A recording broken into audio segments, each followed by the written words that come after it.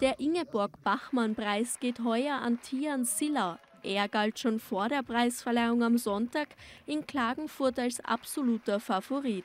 Sein Text Der Tag, an dem meine Mutter verrückt wurde, konnte auch die Jury überzeugen. Ich hatte ein gutes Gefühl, zugleich konnte ich mir nicht sicher sein und habe dann auch gemerkt, die anderen haben auch sehr, sehr gute Texte mhm. geschrieben.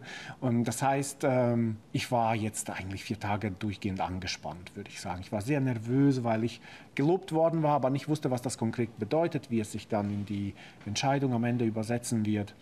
Ja, es war stressig. Es ist wirklich äh, herausfordernd. Toll, wirklich toll, aber herausfordernd. Also nichts für schwache Nerven, wie man sagt. Ne?